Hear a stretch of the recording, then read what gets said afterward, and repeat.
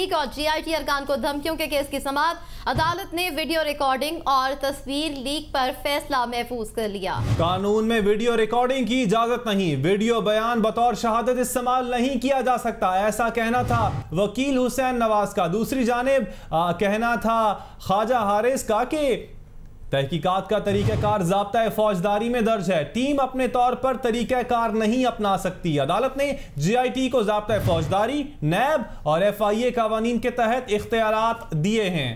ایک سو اکسٹھ کا بیان بطور ٹھوس ثبوت تسلیم نہیں ہوتا۔ یہ بیانات تضادات کے لیے استعمال ہو سکتا ہے۔ جسٹس اعجاز افضل کی جانب سے یہ ریمارکس دیے گئے۔ ایک بار پھر سے آپ کو بتا رہے ہیں، سپریم کورٹ میں حسین نواز تصویر لیک اور جی آئی ٹی ارکان کو دھمکیوں کے کیس کی سماعت، عدالت نے ویڈیو ریکارڈنگ اور تصویر لیک پر فیصلہ محفوظ کر لیا۔ حسین نواز کے وکیل کی جانب سے کہا گیا کہ قانون ویڈیو ریکارڈنگ کی اجازت نہیں دیتا۔ ویڈیو بیان بطور شہادت استعمال نہیں کیا جا سکتا۔